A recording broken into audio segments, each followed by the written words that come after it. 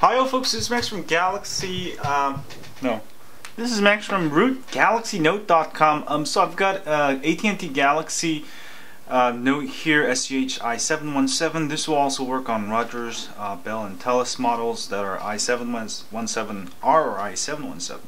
Anyway, uh, I forgot to make a video on how to install a ROM on your uh, custom ROM on your Galaxy Note here.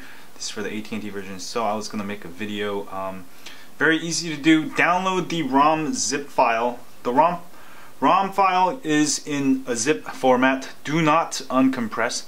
Copy the whole zip file into the SD card or internal storage of your Galaxy Note. Alright?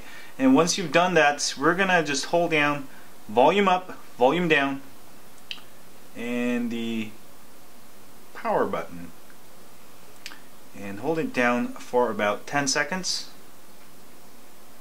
Alright and then when your phone resets you'll uh, feel a little vibration. Keep holding down the volume up and volume down but let go of the power button. And this will enter you into um, clockwork mod recovery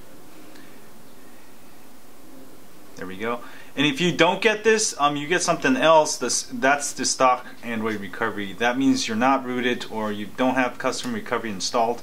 Um, you can go ahead and install it. It's on my site on how to install a uh, recovery for your AT&T Galaxy Note. So once you're here, uh, very easy to do. Uh, make sure you made a backup and backup and restore um, just in case something goes wrong, right? It's there. Uh, and also, uh, before you install a new custom ROM, make sure to use a Titanium Backup app to back up all your apps. And also, um, there's a bunch of SMS uh, backup apps you can use to back up your SMS text messages. Because when you install a custom ROM, you're going to most likely wipe all your personal settings and apps. So once you've done those things, um, wipe data and factory reset. Sometimes if you're on the same ROM and upgrading to the new version, you might you can skip this uh, step, wipe data factory reset, which will keep your apps and settings. And you can try it without wipe if you don't want to lose data. Um, um, that can actually work. But uh, if you're going from a new uh, stock ROM to a new ROM, that can actually work. You can try it, but if, it, if you get a lot of force closes, you can go back and reinstall the ROM after a wipe. So it's not a big deal. Um, you can try without a wipe, but my suggestion is to do a wipe on every um, new ROM install. So let me do that. Wipe data factory reset. Say yes. And this will basically erase um, your personal settings and apps and whatnot. And then uh, go to install zip from SD card. Um, choose zip from SD card or choose zip from internal SD card. Um, depending on where you copy the ROM files to. Um, I think I copied it to my SD card, so let me choose that. And I usually put my stuff in my download directory.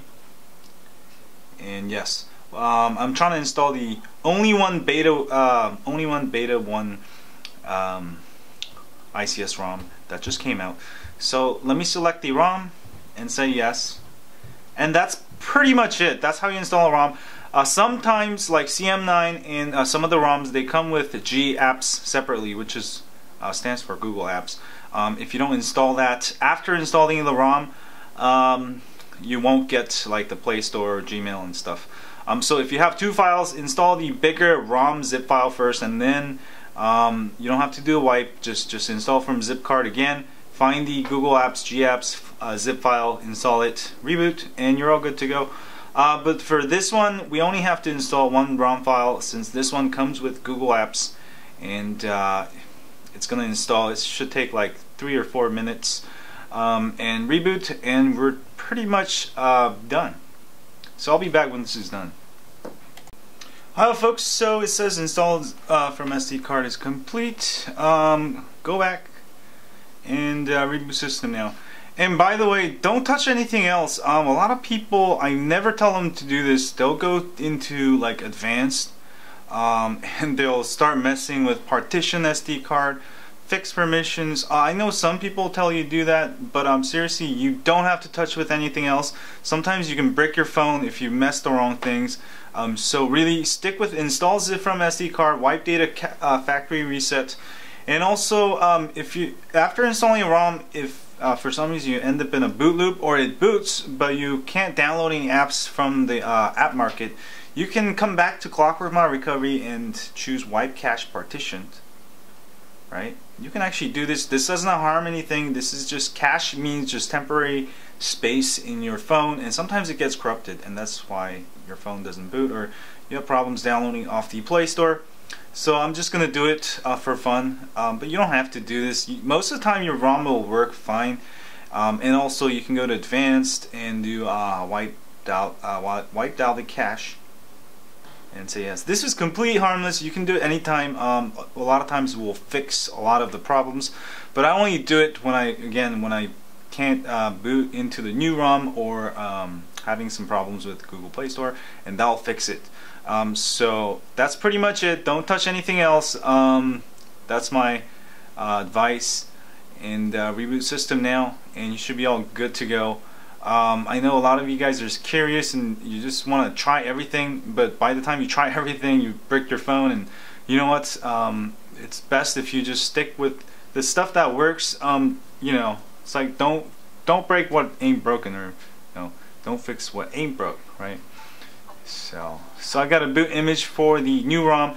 This one actually comes with um, the Galaxy S3 um, TouchWiz and some of the um, apps like the new S Voice and stuff like that. So that's why I'm installing it.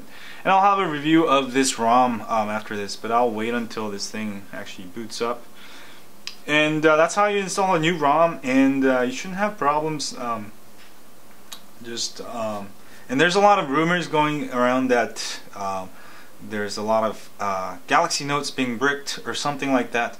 Um, not with the AT&T, that's with the other Galaxy Note.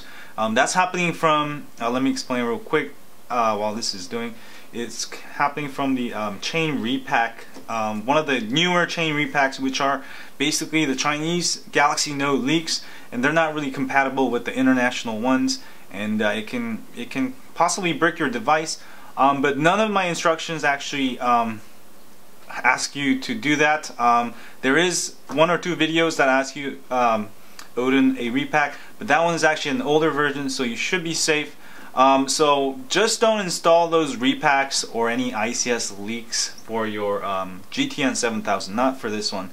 Uh, and you should be okay. And all the ICS leaks, I don't even recommend anyways, even for this one, um, because there are leaks. There's a lot of bugs. Um, and uh, just stick with custom ICS ROMs and there's no there's zero chance of breaking um, so just know that uh, stick with custom ICS ROMs and even if the official one comes out you can always get a custom ROM um, that has the official update in it with root so there is no reason for you to ever go back um, to stock unless um, you know you're gonna return your phone for a warranty so just an advice you don't ever have to um, do that unless you want to return it for a warranty. And uh, this should boot up um, but if it gets stuck in this state it's called a boot loop. And like I said if you didn't wipe cache and Dalvik cache um, you can reboot into recovery. Uh, remember volume up volume down and the power button and then um, do that last two part two things I did wipe cache and wipe Dalvik cache and reboot and sometimes um, even if you do that if it doesn't work you can do a simple reboot and usually it will fix it but now um, you can see that my phone booted up. I've success successfully installed a new ROM. Um, if this is the first time you're doing it, um, pat yourself on the back and congratulations and thumbs up, baby. Yeah, thumbs up. Um, so it's just updating the applications. This is the first time running it, um, but it should boot up fine. And that's how I install a ROM um, on the AT&T Galaxy Note. The only thing different with GTN 7000 is the buttons, how to get into the recovery. Otherwise, it's pretty much nearly identical. Um, for the GTN 7000, it's volume up, center button, and the power button. Alright, so I got the pen. Um, it comes with actually Apex Launcher and TouchWiz. Ooh, this is the new TouchWiz. Anyway, I'll have a review of this. Um, but that was how to install a new custom ROM on your AT&T Galaxy Note SGH i717 or for Rogers, Telus, and Bell. Anyway, thanks you guys. If you have a Galaxy Note, um, don't forget to sign up for my email list at rootgalaxynote.com. We update you once a week with uh, ROM of the week, tips, hacks, and more. And it's a great way for you to get in contact with me via email. And I don't share your email with anyone else but my dog. And uh, if you're on YouTube, um, please hit that like button here. Subscribe to my channel here at High on Android. And also, you can subscribe to my channel, uh, my main channel, Zedomax. And uh, please use that button right there, share button, to share this with your friends on Twitter, Facebook, or Google+. Plus. Oh, my laundry's done. Anyway, see you guys later. Stay high on Android, and later, dude. Oh, yeah.